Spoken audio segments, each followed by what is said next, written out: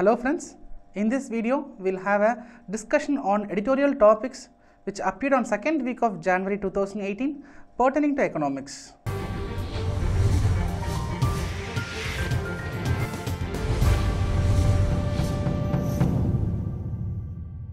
First topic Evidence of Fragility, which appeared on 8th January Hindu. The recently released forecast on the economic growth by Central Statistical Office, which is hovering around 6.5 percentage. This was actually predicted by the chief economic advisor that there is going to be a slowdown in the economic growth than what we have anticipated. And this slowdown has been witnessed in various sectors. The gross value addition is projected to grow by 6.1 percentage when compared to 1617 there is a slowdown experienced here in 1617 the gva growth rate was 6.6 percentage and now the forecast says the growth rate is going to be 6.1 percentage. So what is gva what is gross value addition? Gva is nothing but gross domestic product excluding the influence of product taxes and product subsidies. That is called as gross value addition. And there is a slowdown witnessed in the GVA and also when we look into the gross fixed capital formation again there is a slowdown GFCF gross fixed capital formation nothing but the private investments so investments in proportion of GDP in 2015-16 the gross fixed capital formation was 30.9 percentage it reduced to 29.5 percentage in 16-17 and 29 percentage in 17-18 is the forecast released by Central Statistical Office. Similarly, there is a slowdown witnessed in the index of industrial production. So, what is IIP? IIP is an index which measures the performance in three sectors manufacturing, mining, and electricity. And even in the IIP data, we are able to see a slowdown. So, along with this economic slowdown, we should also discuss the headwinds which is in front of the government. So, what is a headwind? Headwind is nothing but a blow of air which obstructs our journey. So, we have to discuss what are all the headwinds which obstructs the economic growth. So, first is fiscal deficit. Government's fiscal deficit has crossed the budget estimates. So, what is the problem in increase in fiscal deficit? So, when fiscal deficit increases, that means government's expenditure is increasing if government expenditure is increasing, so to finance the deficit, if government borrows more money from the public or banks, in that case, the market will be left, the banks will be left with less money for private investments. So the private players will be having less amount of money for their investments and fall in private investments is going to affect the economic growth. So that is the problem associated with fiscal deficit. And also there is a fall in the GST collections. So through GST, government is expecting close to 12 lakh crores per annum. That means approximately every year the GST returns should be close to 1 lakh crores, but government is able to achieve only 80 to 90,000 crores. So there is a problem in GST collection. So revenue is also reducing and expenditure is increasing. Along with that, there is an increase in crude oil prices is witnessed. So per barrel oil prices is increased or it has crossed $60. So that is going to increase our current account deficit and there is a fall in the agriculture output. There is a 3 percentage drop in the agricultural output in 1718. So the fall in agriculture output and increase in oil prices that is going to result in a strong inflationary pressure. So keeping all this in mind, government has to devise its upcoming budget so that the economy comes back to its actual estimated growth. Next topic, the problem of land hoarding that appeared on 8th January again. So this topic mainly discusses about the unused land which is with the government and what are the issues surrounding this unused land. When we look into the actual size or actual land owning of the government, there is no authentic data. There is a speculation on the amount of land which government possesses. According to the data released by Government Land Information System, close to 13 lakh 50,500 hectares of land is available in the hands of government but the correct figure may be several times more than what has been estimated. What is more worrying is large proportion of the government land lies unused. That means out of 13 lakh 50,500 hectares, large amount of the land is being unused. For example, railways close to 43,000 hectares is being unused and similar the case of defense and ports. And when we look into the special economic zones out of land confiscated for the construction of SEZ 53 percentage of the land acquired is put unused. And whatever figure which we have mentioning is just a tip of the iceberg. And what is more interesting is the large part of the unused land is located in the prime areas in major cities. According to CAG report, 13 major ports have failed to produce actual land documents. The title deeds are not clear. The land documents are not proper for 45 percentage of their land holdings. In one part, large amount of land holding is being unused and also there is no proper documentation for these government used properties. Now, what are the issues with respect to these unused lands? What is the problem with these unused lands? As we discussed in the previous slide, these unused lands are located in the prime cities, in the center of the cities, heart of the cities, where already because of increase in population density, there is a huge demand for these lands. So, these unused lands can be related to land hoarding by the government. So, there is a huge demand and supply has been hoarded. So, this results in the increase in the real estate prices, the housing becomes unaffordable. Not just housing, even the industrial projects is becoming more costlier because land is an important input. So, increase in input cost is going to increase the industrial projects value. And apart from that, whenever these unused land are used by the government for some projects, it comes along with corruption.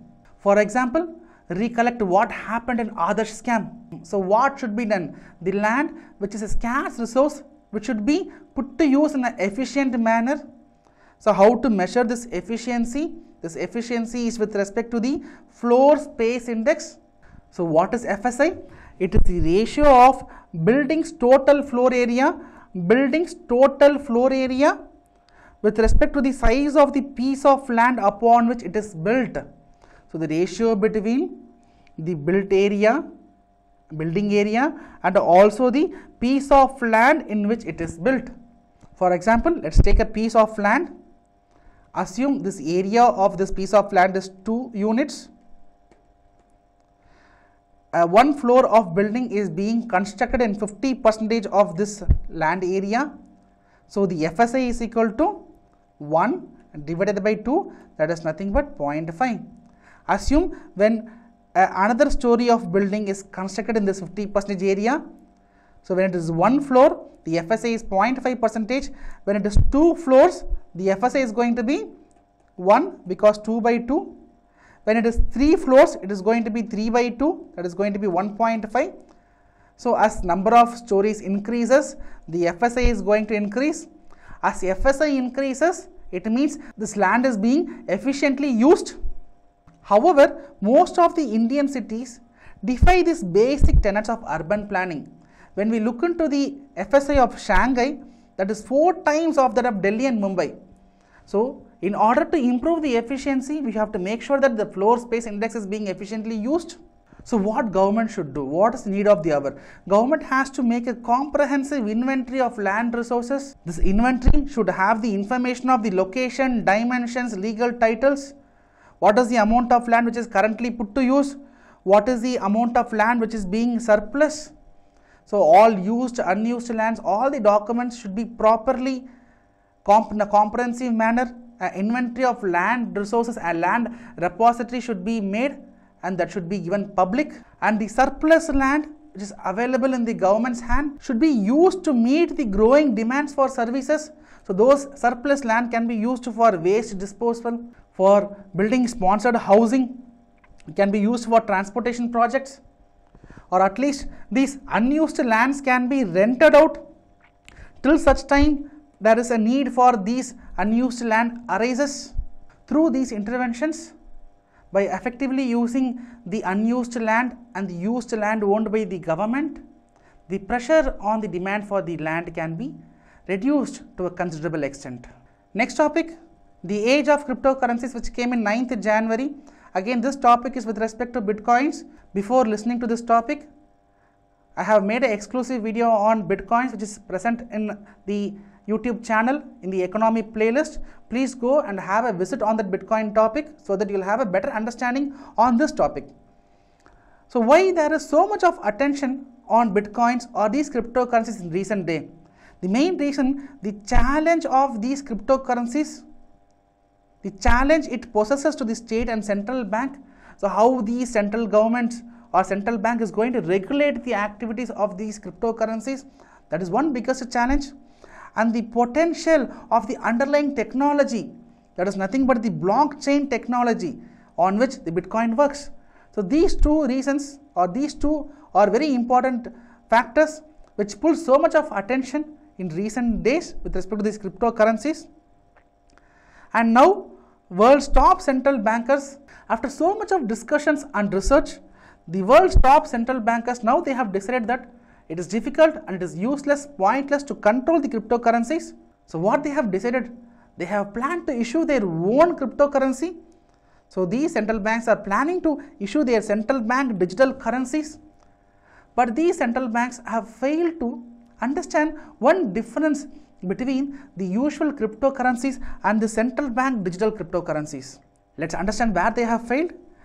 These cryptocurrencies are controlled not by a single agency, rather, it is controlled in a decentralized manner. But when we look into the CBDC, it is controlled through a centralized body. These cryptocurrencies, like bitcoins, they actually emerged because of the distrust over banks. For example, what is the option do people have if banks are not to be trusted? After this 2008 global financial crisis, many people they started having a distrust over the banking mechanism so if they want to put their investment in a different medium for which bitcoins came as an answer but this cbdc again issued by a central banking authority may not fetch so much of interest among the investors like the conventional cryptocurrencies are. Now let's see why this bitcoins or any other cryptocurrencies are so attractive when compared to other fiat currencies the fiat currencies there is a chance of loss in value because of inflation. As inflation increases, the value of the fiat currencies reduces. Let's take the example of Zimbabwe. In Zimbabwe, in 2008, the inflation was so high, the inflation reached 79.6 billion percentage. 79.6 billion percentage. So Zimbabwe government they even started issuing 100 trillion dollar rupee notes. During inflationary situation there is a possibility there's a high possibility of loss in value of the fiat currencies. But this is not the case of bitcoins. Since the bitcoins is limited it is only 21 million bitcoins can be mined. Since it is limited it is relatively inflation proof so it is prevented the value of the bitcoins, the erosion of value of bitcoins can be prevented because of the limit which is kept on the number of bitcoins. And also most importantly the blockchain technology which is associated with the bitcoins transactions these blockchain technology makes these transactions more transparent more secure so all these factors makes these bitcoins investments more interesting and more appealing when compared to the investments made in the fiat currencies. Remember, the blockchain technology should not be synonymously understood only with the bitcoins. These blockchain technology has so many applications. Bitcoins or any other cryptocurrencies can be controlled by the steps taken by the governments. Say, for example, China has banned the Bitcoin transactions. Similarly, India can ban the Bitcoin transaction or any other cryptocurrency transactions but we have to recognize the potential of the blockchain technology. Remember, blockchain technology is not just associated with bitcoins or any other cryptocurrency alone. Blockchain technology can be actively used in various sectors.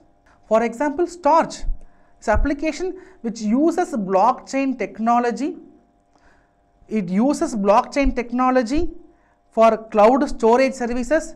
For example, if you are having some empty space in your laptops or PCs, those empty space can be rented out to some other users who is in demand of space using this blockchain technology. That is the service which is being provided by the Storj. And similarly, today blockchain technology can be actively used in artificial intelligence, Internet of Things. Programmable money is already happening, and there is a huge scope, huge potential for the application of blockchain technology in other areas too.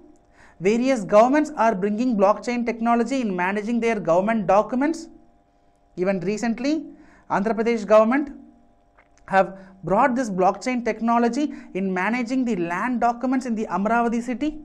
And this blockchain technology should not be seen as a threat to the conventional business models. Earlier, internet was seen as a threat, but now that is not the case. It is complementary in nature. Similarly, this blockchain technology will not be a threat. Any innovations will be resulting in efficiency and profit. Instead of treating this blockchain as a threat, this can be put in use in an effective manner for the welfare of the country. Next topic, agriculture needs a reforms package. This topic mainly discusses about the unviable nature of the farmers' income and also the faulty policies which government uses. So farm incomes are unattractive due to various reasons and one of the main reasons is the faulty policies of the government. So government mainly focuses on price stability. To maintain the price stability, government carries out many price control measures that is actually pro-consumer but at times that is actually anti-farmer. Let's take minimum support price. This MSP is the price at which the government procures agriculture produce from the farmers, not for all crops, for selected crops, government procures agriculture produce from farmers through minimum support price.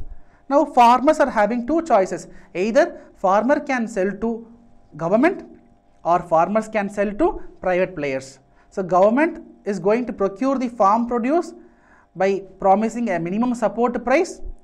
So now farmers will be using this minimum support price announced by the government as a bargaining power to the private players or the private market. Assume government is announcing 20 rupees per kg as MSP for rice. Now this 20 rupees is going to be the benchmark price for the farmers and with this price farmer is going to bargain with the private players. So increase in MSP is going to fetch better returns for farmers. So MSP acts as a benchmark price. MSP helps in raising the market price and thus farmers gains. And what government is going to do with this procured amount of food grains? When there is large amount of procured food grains, those food grains can be offloaded in the market. It can be sold in the market when there is a inflationary situation in the market. When there is a food inflation in the market, then government can offload these procured food grains. The procured food grains can be offloaded in the market to reduce the excessive inflation in the food commodities. But this MSP or procurement works effectively along with the trade control and stock management measures. For example, in 2016-17, due to conducive environment, there was a increase in the harvest. There was a bumper harvest experienced in pulses. There was more supply of pulses. MSP was hiked. Why MSP was hiked? When there is large supply of pulses, there is going to be a fall in price for pulses. So, in order to secure the farm income, farmers' income, government increased the MSP. Government increased the MSP, and government did not relax the control over the exports. The export controls were continued, and imports were not restricted. Already there is a more supply of pulses in the market, and exports were controlled and imports were not restricted. So, more amount of pulses came to India through imports. Already there is more supply of pulses in the domestic market. So, because of this, when there is more supply, the value of pulses, the prices of pulses further reduced. The market price was very less than the MSP. So, the farmers started demanding more amount of MSP for better income and we'll take another example. Between 2009 2013, we experienced a double digit inflation. The main reason was MSP policy. the government had been increasing the MSP policy between 2009 2013 in order to reduce the gap between the domestic and global agriculture prices.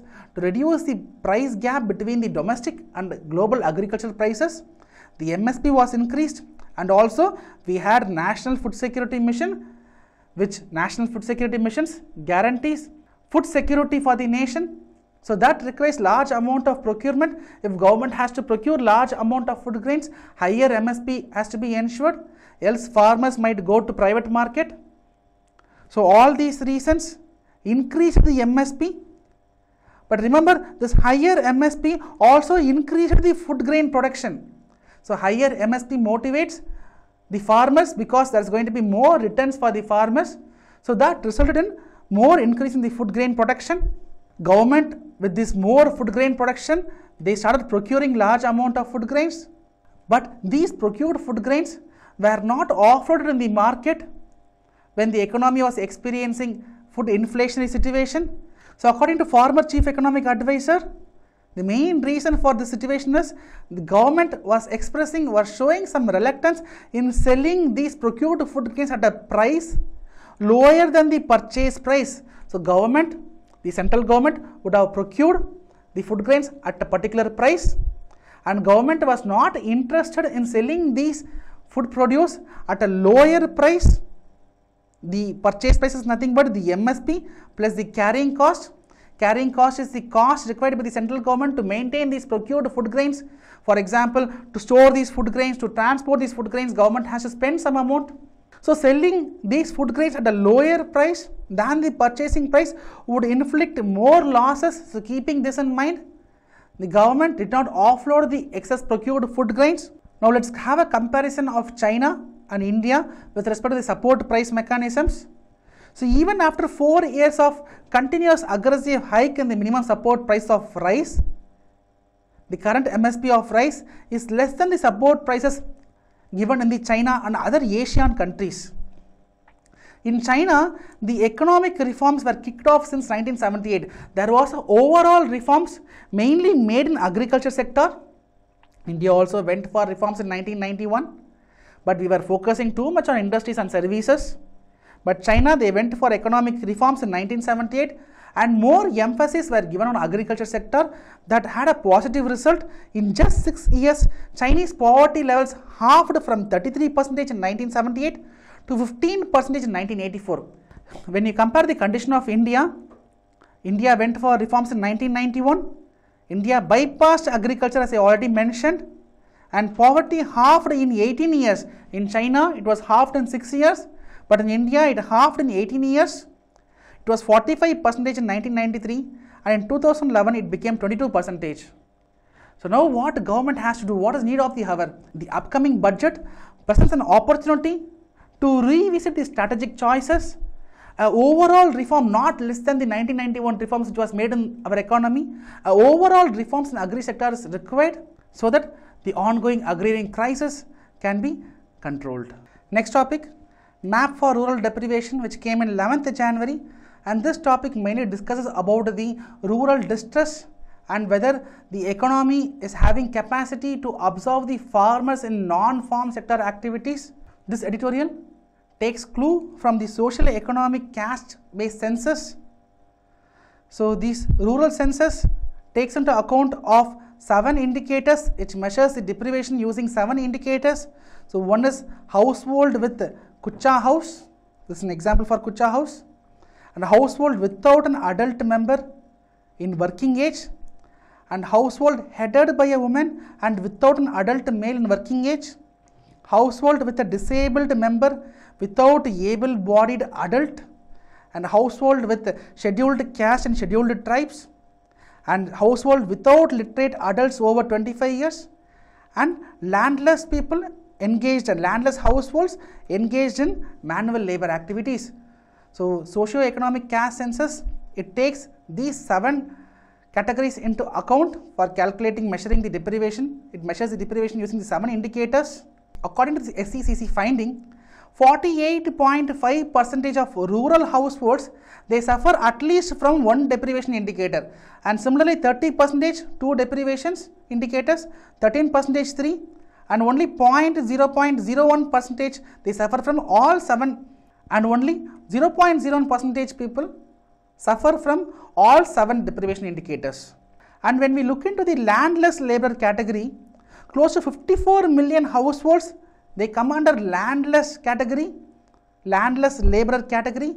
Assume each household is having is having five members.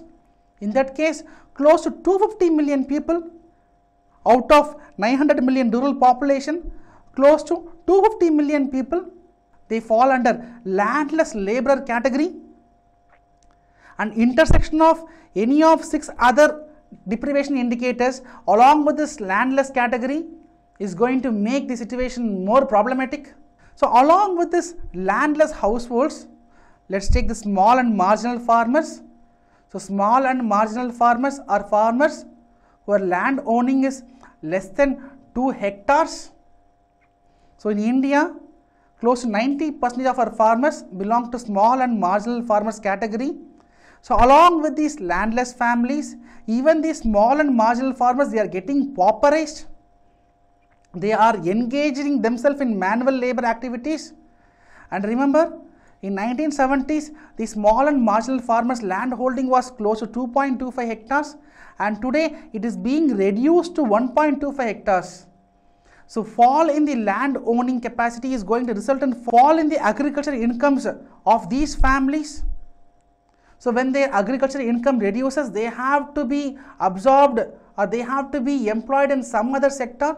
So where do these people get employment in this current situation? So when we look into the labor market between 2005 to 2012, two demographic groups they have done reasonably well. So what are those two groups? One is educated young people, educated youths and poorly educated old landless laborers. So one section educated youth and another section old landless laborers who are poorly educated. So these two demographic groups have relatively fared well in the labor market between 2005 to 2012. But remember the numbers is going to rise sharply in the coming decades. So does our economy is having capacity to create sufficient non-agricultural law? So we have to know does our economy have sufficient capacity to create non-agricultural jobs for which we have to understand mainly the growth level in the construction sector. So why I am choosing construction sector? So construction sector is the sector which absorbs maximum number of agricultural laborers towards non-farm activities because these construction works doesn't require much skill, it, is not, it doesn't require much educational qualifications. So when we look into the growth rate in this sector from 1970s to 2005, there is an increase there's an increase seen in the growth rate. And also when we look into the share of this construction sector in rural output again we are able to witness a positive growth rate and when we look into the employment opportunities in this construction sector even there is a positive growth rate when compared to 1970s and 2011-12 situation this construction sector it absorbs 74 percentage of the new jobs created in the non-farm sectors in rural areas in particular between 2004-5 to 11-12. As I already mentioned, what is the main reason why construction sector is absorbing so much of rural population? The main reason is construction sector requires less amount of skill and also less amount of educational qualification. Fewer skill and the educational requirements are relatively less when compared to other sectors. These are the main reason how it is able to absorb a large amount of people from farm activities to non-farm activities. When we also look into the employment statistics with respect to construction sector from 1991 to 2011-12, again we are able to witness a positive growth in the absorption of um, laborers in providing the employment opportunities so what is the main reason how construction sector is able to recruit so many people? This was possible mainly because of the investments made in the infrastructure sector, especially when we take in the 11th five-year plan between 2007 to 12. The investment was close to 100 billion dollars per annum, partly from government side and also partly from private side. In addition, there was a boom in the real estate sector, of course, yes. But however, these private investment is becoming lower when compared to earlier situations. So this fall in investments results in slowing down in the job generation in the construction sector and along with that the rising non-performing assets and also fall in the public investments. Since 2011-12, fewer workers are leaving from farm activities to non-farm activities. This is the main reason is the fall in private investments, increase in NPAs. So this resulted in lack of investments in construction sector. So the absorption capacity of this construction sector is reducing. So the number of people who are leaving the farm sector is being reduced. So earlier between 2004-5 to 11-12, close to 5 million people leave agriculture practices per annum. But now it is being reduced to 1 million farmers per annum. So this decrease in people depending on construction sector is directly going to hurt the landless labor and small marginal farmers because their income from these farm activities are very less. So they have to depend on some other sector. The main employer for these people was construction sector because of lack of investments. These people are not able to find sufficient jobs in construction sector. So what government has to do? In the upcoming budget, government has to take sufficient efforts to increase the public investments and recently government announced government is planning to borrow close to 50,000 crores in this current fiscal year, current financial year. We hope that this large amount of money is being diverted to improve the infrastructure sector. We hope this large amount of money is being invested in infrastructure so that there is going to be a boost in the investments made in construction sector. Hence, there is going to be a large absorption of people from farm activities and these farmers are getting benefited. Next topic, ready for sale which appeared in 12th January. So this discusses about the recent relaxation made in the foreign direct investment norms by the government. So Union Cabinet has approved a series of changes in the FDI investments. Foreign airlines, now foreign airlines are allowed to own up to 49 percentage in Air India and similarly 100 percentage FDI is allowed under automatic route in single brand detailing trading. So what is automatic route? So FDI can be approved through two routes. One is automatic and approved route. In approved routes, government approval, prior approval is required for any foreign direct investments. In automatic route, that is not the case. So government has allowed 100 percentage FDI in automatic route with respect to single brand retail trading. With respect to Air India, the decision to allow 49 percentage overseas ownership comes after the Cabinet Committee on Economic Affairs which gave a nod on strategic disinvestment. So in order to privatize the Air India, government has decided to strategic disinvestment, decided to strategic sale. What is strategic disinvestment? So when government reduces majority of this ownership, if government reduces, if it sells more than 51 percentage of its ownership, when majority of the ownership from the government, if that is being disinvested, and that disinvestment is called as strategic disinvestment. Now recently Air India was put to strategic sale and government was not able to receive a complete revenue through this disinvestment. Government was able to mobilize only 28 percentage of the targeted amount and now this relaxation in the ownership norms will definitely help to achieve the intended target. Similarly, government has came up with 100% FDI in single brand retail under automatic route. What is more important with respect to this norm is government has relaxed the mandatory condition of local sourcing norms. So what is local sourcing norms? If Apple wants to invest in India, in that case, Apple has to source a large amount of accessories which is required for these products from India itself, from Indian market itself. And Apple was expressing its reluctance. According to Apple, India is not having sufficient cutting edge technology which is required to manufacture the accessories which are required for these Apple products. So it was opposing this local sourcing norms. Now government has come with 5 year holiday for this local sourcing requirement for this 30 percentage local sourcing requirement. So this 5 year holiday it is going to be highly beneficial not just for the business entities also for our domestic market because these business entities in this 5 year holiday period they can they are having adequate time. They can identify they can train they can technologically assist our domestic players. And our domestic players will be exposed to their cutting edge technology that's going to be a win-win situation.